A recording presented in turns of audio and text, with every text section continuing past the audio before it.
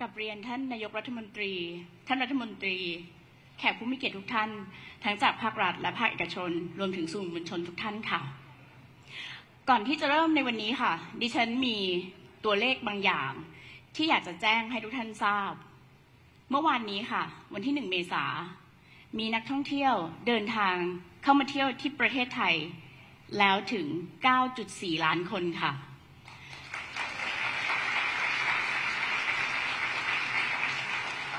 ค่ะ และเมื่อเทียบกับปีที่แล้วนะคะ มีจำนวนนักท่องเที่ยวเดินทางมาเที่ยวเมืองไทยทั้งสิ้น 6.6 ล้านคน ซึ่งเทียบกันแล้วค่ะ เพิ่มขึ้นถึง 42เปอร์เซ็นต์สิ่งเหล่านี้จะเกิดขึ้นไม่ได้นะคะ ถ้าไม่ได้รับความร่วมไม้ร่วมมือร่วมใจทุกภาคส่วน ไม่ใช่แค่กระทรวงการท่องเที่ยวอย่างเดียว อีกหลาย ๆ ท่านในที่นี้ก็เป็นส่วนร่วมด้วยค่ะ ขอเสียงปรบมือให้กับทุกคนด้วยค่ะ นี่เป็นแค่จุดเริ่มต้นนะคะ ที่จะทำให้ประเทศไทยเป็นจุดหมายปลายทางของนักท่องเที่ยวทั่วโลก เราได้รับการยอมรับค่ะว่า ประเทศไทยมีอาหารอร่อย มีสถานที่น่าท่องเที่ยวมากมาย มีวัฒนธรรมที่เป็นอัตลักษณ์ที่หลากหลาย ได้รับการันตีจากรางวัลระดับโลกมากมายนะคะ ที่สำคัญที่สุดค่ะ คนไทยมีรอยยิ้ม มีน้ำใจไมตรี ไม่เหมือนชาติใดในโลกค่ะ ท่านผู้มีเกียรติคะอุตสาหกรรมการท่องเที่ยวของไทย เป็นหนึ่งในกลไกสำคัญในการขับเคลื่อนเศรษฐกิจค่ะ เราเคยสร้างมูลค่าทางเศรษฐกิจถึง 18.64%ของ GDP ในปี 2560 ค่ะ และในปี 2562 เราเคยสร้างมูลค่าให้กับประเทศได้ถึงเกือบ 3 ล้านล้านบาท ปีนี้ค่ะ เราได้รับนโยบาย โจทย์ใหญ่นะคะ จากท่านนายกค่ะ แล้วเราก็พร้อมที่จะทำไปให้ถึงจุดหมายนะคะ เราจะสร้างรายได้ในปีนี้ค่ะ ให้ถึง 3.5 ล้านล้านบาทค่ะ ในการที่จะไปถึงเป้าหมายได้นะคะ จะต้องได้รับความร่วมมือร่วมใจ ดิฉันมั่นใจค่ะ ว่าศักยภาพของไทย ในตอนนี้จะทำให้เราไปสู่เป้าหมายได้อย่างแน่นอนค่ะ ดังนั้นค่ะก้าวต่อไป เราจะต้องปักหมุดการท่องเที่ยว ปีหน้าต้องปังกว่าเดิม และจะต้องเติบโตอย่างที่ไม่เคยเกิดขึ้นมาก่อน ประเทศไทยจะไม่หลับไหล เราจะเพิ่มมิติให้กับการท่องเที่ยว การท่องเที่ยวจะพาประเทศไทยไปสู่ช่วงเวลาที่สดใส และบรรยากาศแห่งความสุขค่ะ เราจะเป็น tourism hub และจะเป็น destination ของนักท่องเที่ยวทั่วโลกค่ะ ด้วยศักยภาพการท่องเที่ยวของไทย ซึ่งจะสอดรับกับเป้าหมาย Thailand's Aviation Hub ที่จะสามารถรองรับผู้เดินทางได้ถึง 150 ล้านคนต่อปีภายในปี 2030 ค่ะ ทุกท่านคะกระทรวงการท่องเที่ยวและกีฬาได้มีการจัดทำเวิร์กช็อป Ignite Thailand's Tourism เพื่อระดมความคิดหลาย ๆ ท่านที่อยู่ที่นี่ก็ได้ไปร่วมด้วยนะคะ ดิฉันต้องขอบคุณเป็นอย่างสูงค่ะ และร่วมแบ่งปันประสบการณ์ ไม่ว่าจะจากภาครัฐ รัฐวิสาหกิจภาคเอกชน เมื่อวันที่ 15 มีนาคมที่ผ่านมาค่ะ ทุกคนได้ร่วมกันจุดพลัง เพื่อโชว์ให้โลกรู้ว่า how amazing we are ผ่านแนวความคิด up add recreate ค่ะ ไม่ว่าจะเป็น up level ผ่านประสบการณ์ที่เหนือกว่า add story เน้นการเพิ่มเรื่องราวมากกว่าที่เคยสัมผัส create value สร้างมูลค่าที่เพิ่มขึ้นจากความเป็นไทย เราจะไปถึงจุดนั้นได้ด้วย 5 กลยุทธ์หลักค่ะ ที่จะมัดใจนักท่องเที่ยว ไม่ว่าจะเป็นจะต้องสร้างประสบการณ์ที่ดีในทุกย่างก้าว5สิ่งที่ต้องทำเมื่อมาเมืองไทย และเน้นเมืองหลักและเมืองน่าเที่ยว รวมไปถึงต้องเป็นหับของอาเซียน และ World Class Event Hub ในอนาคตค่ะ เราจะสร้างประสบการณ์ที่ดีให้กับนักท่องเที่ยว เชื่อมต่อการเดินทางด้วย เราจะสร้างความปลอดภัย ความสะดวกสบาย ความสะอาด ในปี 2025 เป็นปีที่นักท่องเที่ยวจะต้องประทับใจในทุกย่างก้าว ในทุกประสบการณ์ที่ได้สัมผัส เริ่มจากการปรับปรุงความสะดวกสบายในทุกๆ touch point ค่ะ ค่ะ ในการเดินทางค่ะ เราต้องสร้างความประทับใจตั้งแต่ การเริ่มเดินทางมาถึง ไม่ว่าจะเป็นข้อมูลสำคัญให้กับนักท่องเที่ยว ตั้งแต่อยู่บนเครื่องบิน ความสะดวกรวดเร็วที่สนามบิน จะต้องปรับปรุงกระบวนการวิธีที่จะไม่ทำให้ล่าช้าค่ะ ทุกท่านทราบไหมคะว่า ขณะนี้ค่ะ มีหลายสายการบินที่ต้องการที่จะเพิ่มเที่ยวบินนำนักท่องเที่ยว เข้ามาในเมืองไทยเพิ่มยิ่งขึ้นนะคะ ดิฉันขอยกตัวอย่างค่ะ เช่น สายการบิน Condor ของเยอรมัน British Airways ของสหราชอาณาจักร Air Astana ของคาซัคสถาน นี่เป็นแค่ส่วนหนึ่งค่ะ ยังมีอีกหลายสายการบินค่ะ ที่ต้องการเพิ่มเที่ยวบิน และนำนักท่องเที่ยวมาเที่ยวในเมืองไทย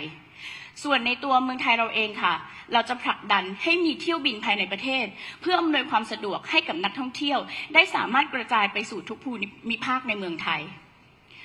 สำหรับโรงแรมที่พักค่ะ ต้องสะดวกสบาย ต้องมีความปลอดภัย ต้องมีโปรโมชั่นที่หลากหลาย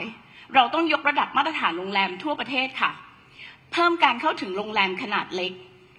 ร่วมเป็น partner กับเว็บไซต์ท่องเที่ยวต่างๆ เพื่อรวบรวมรายชื่อโรงแรมในแต่ละจังหวัด และรวบรวมโปรโมชั่นเข้าไว้ด้วยกันค่ะ ทุกท่านทราบดีค่ะ ว่าเรามีนโยบายที่จะให้ฟรีวีซ่าแก่หลากหลายประเทศ ซึ่งที่ให้ไปแล้วไม่ว่าจะเป็นคาซัคสถาน จีน อินเดีย ไต้หวัน รวมไปถึงการขยายวันเข้าพัก ของประเทศรัสเซีย จากนี้ไปค่ะ เราจะเพิ่ม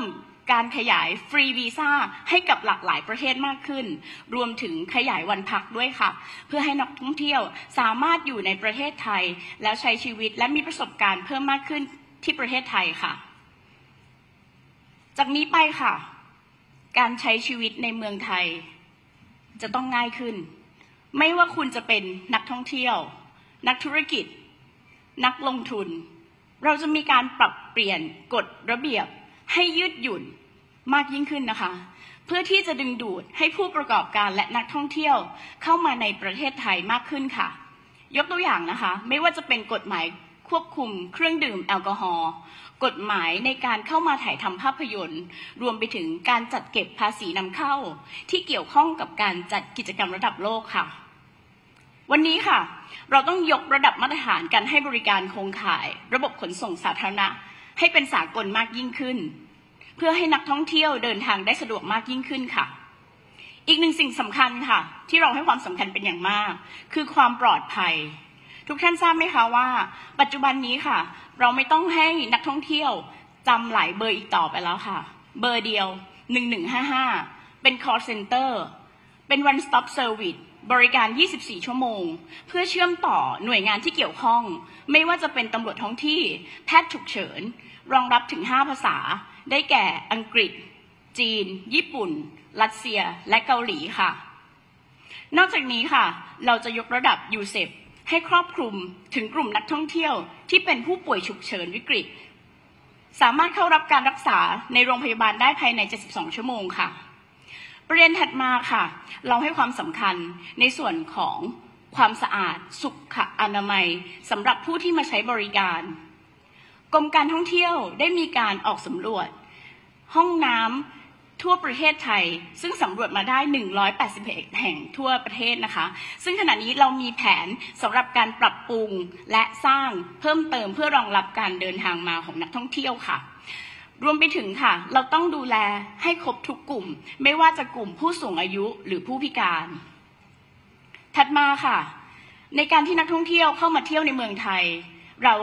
คงต้องอยากให้นักท่องเที่ยวเข้ามาใช้จ่ายในเมืองไทยเยอะๆนะคะ ดังนั้นการอำนวยความสะดวกในการขอแวดรีฟันคืนเป็นสิ่งจำเป็นค่ะ ขณะนี้ค่ะทางรัฐบาลได้มีการเพิ่มมูลค่าในการที่จะต้องแสดงสินค้าต่อศุลกากรจากเดิม 5,000 เป็น 20,000 และในอนาคตค่ะ จะมีการทำงานร่วมกับไม่ว่าจะเป็นห้างสรรพสินค้า หรือการมีตู้คีออสเพื่อบริการนักท่องเที่ยวเพิ่มเติมค่ะ ดังนั้นค่ะเพื่อให้บรรลุตามวัตถุประสงค์ที่กล่าวมาแล้วค่ะ ฉะนั้นเราจะต้องมีการทำงานอย่างเข้มข้น ผ่านการโปรโมทการท่องเที่ยวไปในทุกมิติ ไม่ว่าจะเป็นก่อนการเดินทาง ข้อมูลต้องหลากหลาย และจะต้องอธิบายให้ครบทุกมิติให้กับทางนักท่องเที่ยวค่ะ และระหว่างการเดินทางค่ะ เราจะต้องสร้างความประทับใจ ไม่ว่าจะเป็นมาตรฐานของมัคคุเทศผู้นำเที่ยว หรือเส้นทางการนำเที่ยวที่หลากหลาย ช่องทางการสื่อสารที่สะดวกมากขึ้น ไม่ว่าจะเป็นเว็บไซต์หรือแอปพลิเคชัน ถัดมาค่ะ สิ่งที่กล่าวไปแล้วข้างต้นค่ะ เราอยากเห็นอะไรคะภายในสามเดือนค่ะ เราอยากเห็นว่า นักท่องเที่ยวไม่ต้องรอคิวนานอีกต่อไป เราอยากเห็นว่าฟรีวีซ่าต้องมีประเทศที่ได้ฟรีวีซ่ามากยิ่งขึ้น รวมไปถึงความพร้อมของแอปพลิเคชันในการรองรับการเดินทางของนักท่องเที่ยวค่ะ ถัดมาค่ะ 6 เดือนเราอยากเห็นอะไรคะ เราอยากที่จะให้การคืนภาษีให้กับนักท่องเที่ยว สะดวกสบายมากยิ่งขึ้น รวมถึงการปรับปรุงกฎหมายที่เกี่ยวข้องให้แล้วเสร็จค่ะ ทุกท่านคะเราเดินมาถึงกลยุทธ์ที่สองกันแล้วค่ะ ห้าสิ่งที่ต้องทำเมื่อมาถึงเมืองไทย เราจะดึงจุดแข็งที่เรามีอยู่นะคะ ให้ทั่วโลกได้รับรู้ว่าเมืองไทยมีจุดขายที่ไม่เหมือนใคร เรามีธรรมชาติ มีวัฒนธรรมที่ล้ำค่าค่ะ แล้วห้าสิ่งที่ควรทำเมื่อมาถึงเมืองไทยมีอะไรบ้าง must be must eat must seek must buy must see เรามีมวยไทยค่ะ เรามีอาหารไทย เรามีวัฒนธรรมไทย เรามีผ้าไทยและเรามีโชว์ไทย เริ่มกันที่มวยไทยนะคะ ไม่มีกีฬาใดในโลกที่มีชื่อประเทศอยู่ในชนิดกีฬาค่ะ เราจะเปิดประสบการณ์ให้นักท่องเที่ยว ได้ร่วมทดลอง ร่วมเล่น เรียนรู้แม่ไม้มวยไทยทั้งสี่ภาค ไม่ว่าจะเป็นมวยชัยยาจากภาคใต้ มวยลบบุรีจากภาคกลาง มวยโคราชจากภาคอีสาน มวยท่าเสาจากภาคเหนือ ทุกท่านทราบไหมคะว่าตอนนี้มวยไทยกำลังเป็นที่นิยมเป็นอย่างมาก เราสามารถต่อยอดสู่การออกกำลังกายในฟิตเนสได้มากมายค่ะ รวมไปถึงสามารถต่อยอดไปสู่โลกของแฟชั่นได้อีกด้วยนะคะ เรามาถึงมัสตัวที่สองกันแล้วค่ะ must eat อาหารไทย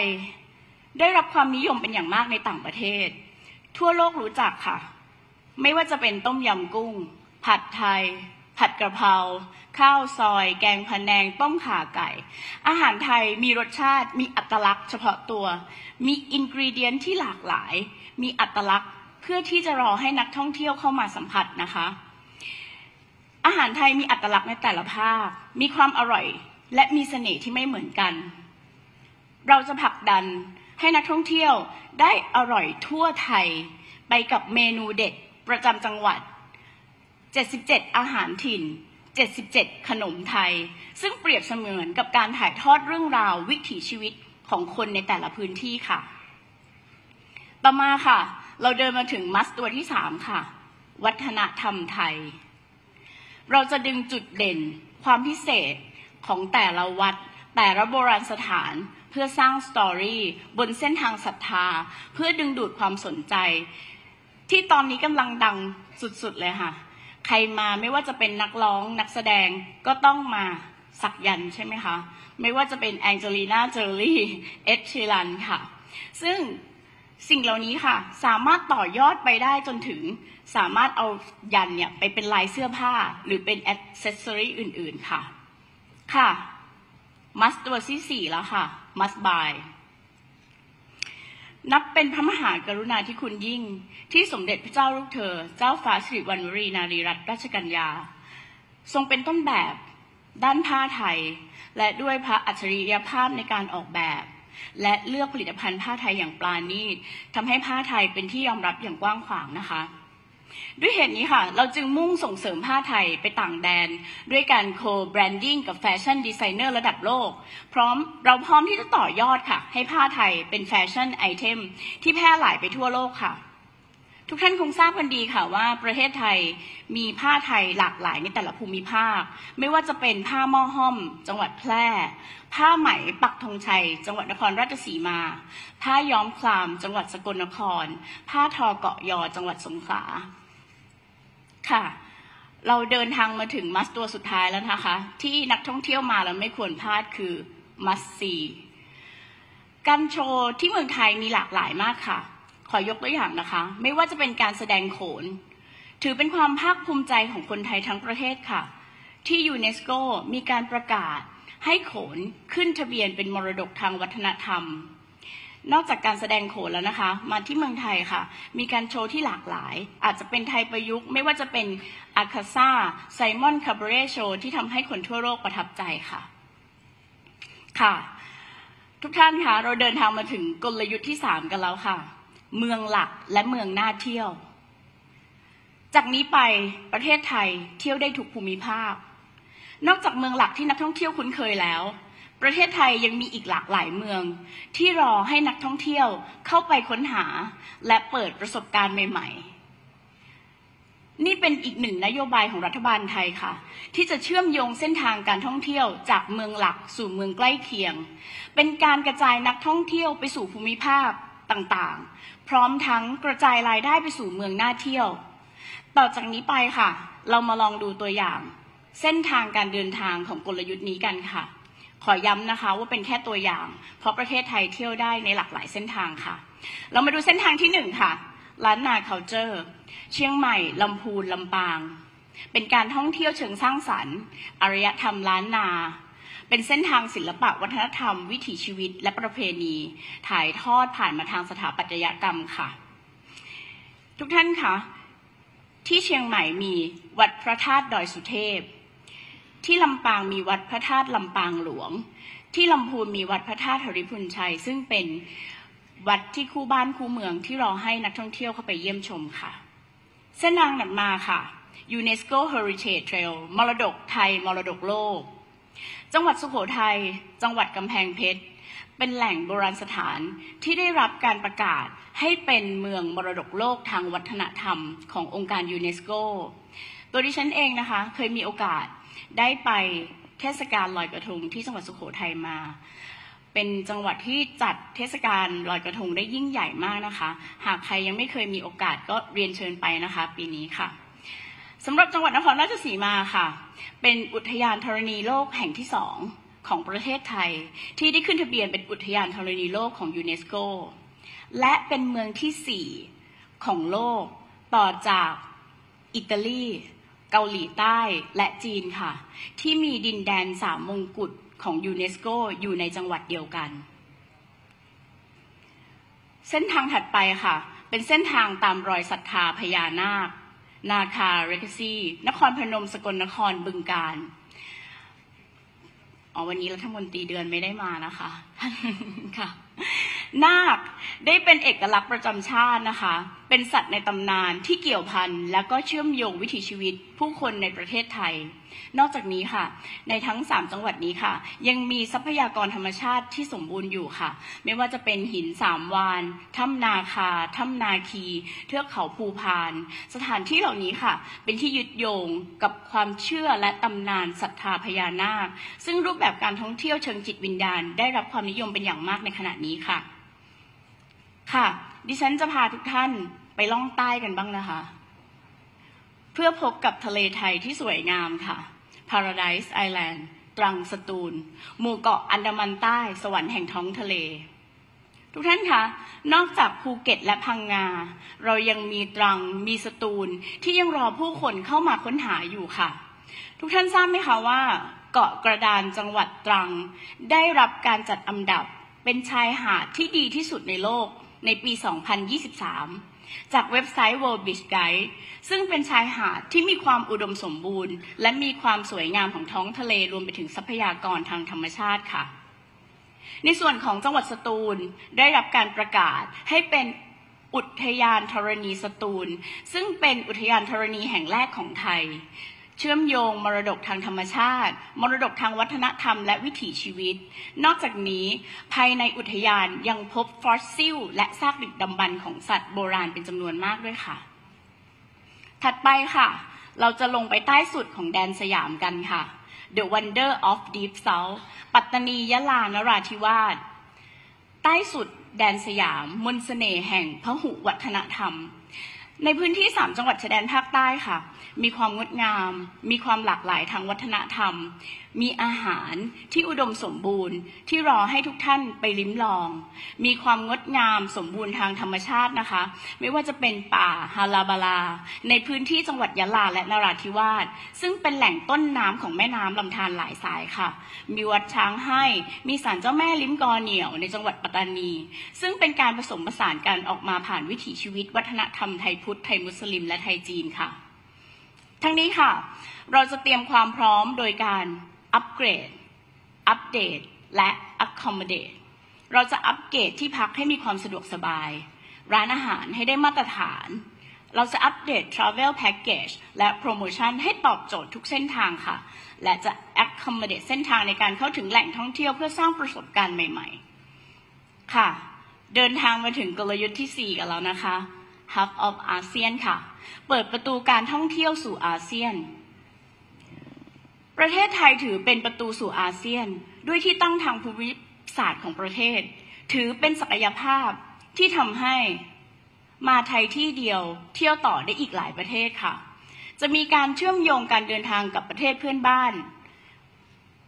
ให้เป็นหนึ่งเดียวกันเพื่อ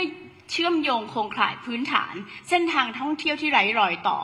ดึงจุดท่องเที่ยวสำคัญของประเทศเพื่อนบ้าน เชื่อมแหล่งท่องเที่ยวสำคัญของไทย โดยตั้งเป้าให้อาเซียนเป็น single destination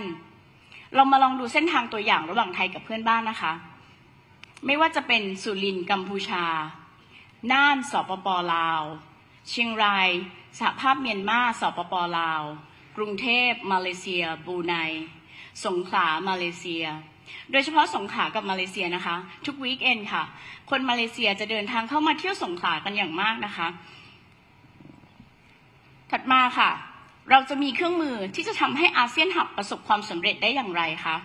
ดังนี้ค่ะ single destination เป็นแนวคิดร่วมมือกันในระดับภูมิภาค เพื่อให้นักท่องเที่ยวสามารถเดินทางท่องเที่ยวได้หลากหลายประเทศ ในภูมิภาคอาเซียนค่ะ ผ่านอาเซียนพาส ซึ่งเป็นความร่วมมือกันของกลุ่มสายการบินพันธมิตร ที่จะออกแพ็กเกจตั๋วเครื่องบิน เพื่อทำให้นักท่องเที่ยว เดินทางเชื่อมต่อไปยังประเทศอาเซียนได้สะดวกสบายและประหยัดมากขึ้นค่ะ ในส่วนแง่ของการใช้จ่ายค่ะ เรามีแนวคิดการใช้จ่ายผ่าน cross border QR payment เชื่อมโยงการจ่ายเงิน ให้นักท่องเที่ยวสะดวกสบายในการใช้จ่ายมากขึ้นค่ะปัจจุบันนี้ประเทศที่สามารถใช้จ่ายผ่าน QR code มี 8 ประเทศค่ะ คือสิงคโปร์ อินโดนีเซีย มาเลเซีย กัมพูชา เวียดนาม ฮ่องกง ญี่ปุ่น และจีนค่ะ ขณะนี้ค่ะ เราเดินทางมาถึงกลยุทธ์สุดท้ายกันแล้วนะคะ คือ World Class Event Hub เราจะนำอีเวนต์ระดับโลกมาสู่เมืองไทย ให้เมืองไทยเป็นศูนย์รวม World Class Experience เพื่อดึงดูดนักท่องเที่ยว และสร้างชื่อเสียงให้กับประเทศค่ะ ในการเป็นเจ้าภาพจัดอีเวนต์เราจะมีการจัดอีเวนต์ระดับโลก ซึ่งอีเวนต์ใหญ่ๆนะนะคะ เรามีการนำมาจัดในประเทศไทยแล้ว และมีการอยู่ระหว่างเจรจาเพื่อที่จะเข้านำมาจัดในประเทศไทย รวมไปถึงมีแผนที่จะนำมาจัด อย่างที่ทุกท่านได้มีโอกาสเห็นในสไลด์ด้านหลังดิฉันแล้วนะคะ ค่ะ จากนี้ไปค่ะ ดิฉันขอเชิญทุกท่านได้รับชมวิดีโอ World Class Event เชิญค่ะ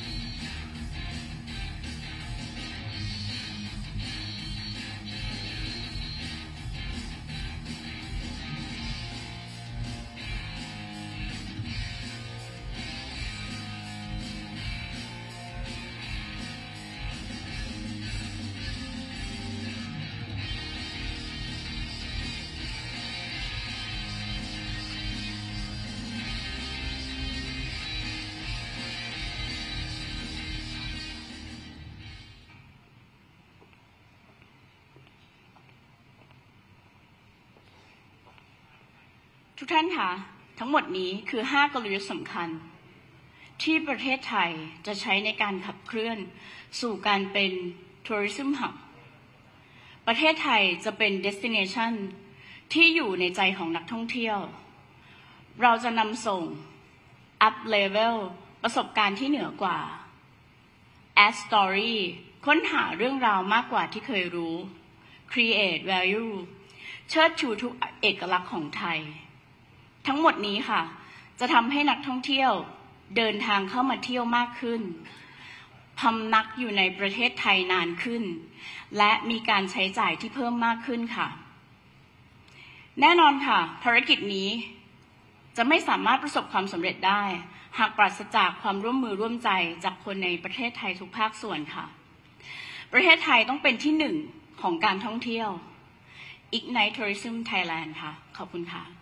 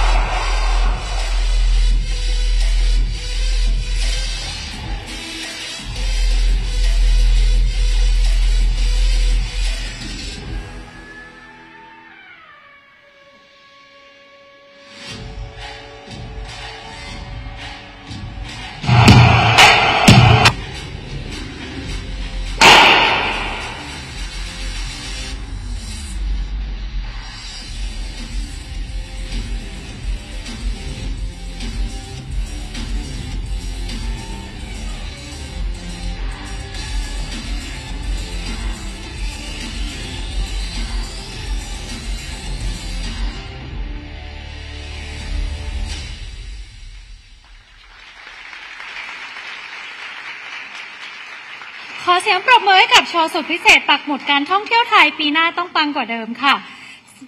สมกับที่ไทยเราจะก้าวสู่การเป็น the travel destination of the world ที่จะดึงดูดนักท่องเที่ยวจากทั่วทุกมุมโลกนะคะ โดยในวันนี้เราได้แสดงให้เห็นแล้วว่า การท่องเที่ยวของไทยเรามีศักยภาพ และเราพร้อมที่จะเปิดบ้านต้อนรับนักท่องเที่ยวด้วย นโยบายต่างๆ ที่ท่านรัฐมนตรีได้กล่าวเสนอไว้ในวันนี้ค่ะ จากนี้ไปนะคะ นักท่องเที่ยวจะได้มาดื่มด่ำกับความเป็นไทยแบบ seamless กับการท่องเที่ยวที่อำนวยความสะดวก ความสบายและคล่องตัวมากกว่าเดิม ให้กับนักท่องเที่ยวจากทั่วทุกมุมโลก และด้วยความร่วมมือกับหลายประเทศในอาเซียน ไทยพร้อมที่จะขับเคลื่อนประเทศให้เป็นศูนย์กลางเมืองการท่องเที่ยวหรือ Tourism Hub ของอาเซียน เพื่อดึงดูดนักท่องเที่ยวให้มาเลือกเดินทางเยือนอาเซียนให้มากขึ้นค่ะ และอีกหนึ่งเรื่องสำคัญที่หลาย ๆ ท่านให้ความสนใจและตั้งตารอ งานเทศกาลระดับโลกจะเข้ามาจัดในเมืองไทยมากขึ้น สมกับศักยภาพของประเทศของเรา ที่พร้อมจะเป็นจุดหมายที่โดดเด่นในการจัดงานเทศกาลระดับโลกค่ะลำดับถัดไปขอกราบเรียนเชิญ นายเศรษฐาทวีสิน นายกรัฐมนตรี กล่าวสรุปภาพรวมของงาน ขอกราบเรียนเชิญค่ะ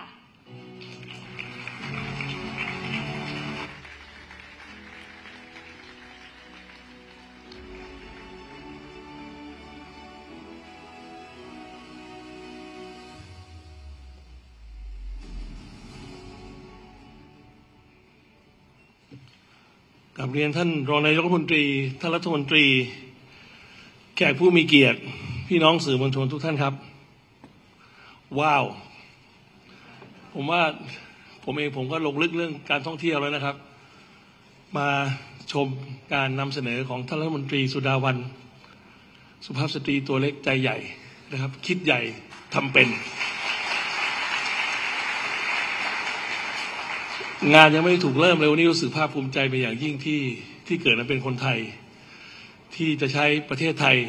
เป็นเวที ในการต้อนรับแขกผู้มาเยือนจากทั่วโลกนะครับ อย่างที่ท่านรัฐมนตรีเรียนไปว่า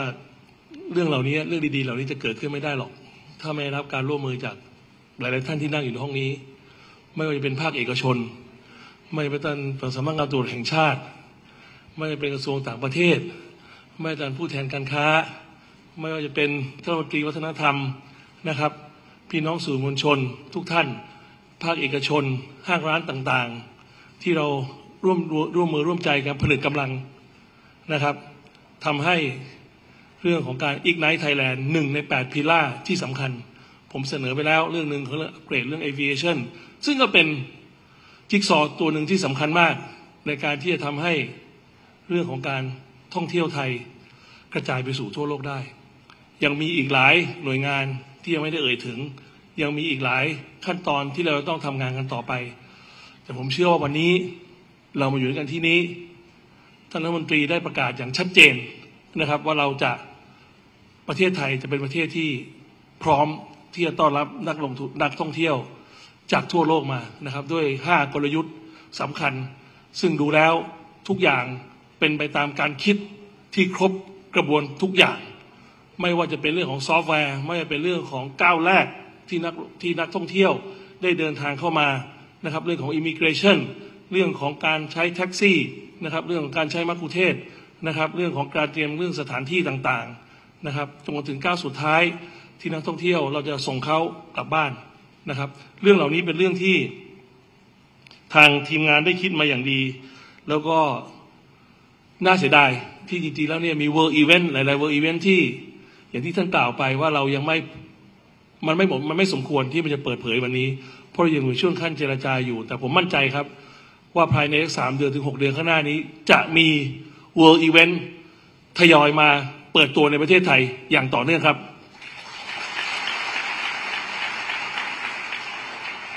ประเทศไทยถือว่าเราเป็นประเทศผู้นำในภูมิภาคนี้ CLMV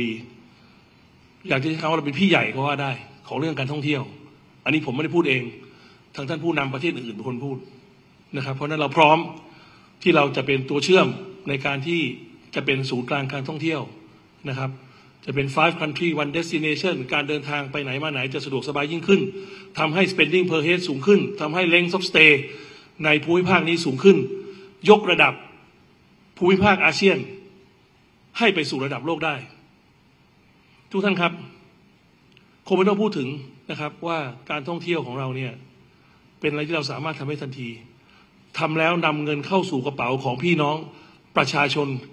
คนไทยทุกคนไม่ว่าเป็นเรื่องของโรงแรมไม่ว่าเป็นเรื่องของร้านอาหาร ไม่ว่าเป็นเรื่องของการจัดกิจกรรมต่างๆ เหล่านี้ถือว่าเป็นเรื่องที่รัฐบาลนี้ให้ความสำคัญ และก็จะช่วยผลักดันกันอย่างต่อเนื่องต่อไปในอนาคต ผมเชื่อว่าท่านรัฐมนตรีพูดมาเยอะแล้ว ทุกท่านทราบดีอยู่ว่าเราจะมีอะไรบ้าง นะครับ ผมคงไม่ไปลงรายละเอียดต่อไปหรอก เพราะว่าท่านได้นำเสนอมาอย่างถ้าเกิดพูดถึงเกรดก็คือสิบเต็มสิบนะครับ วันนี้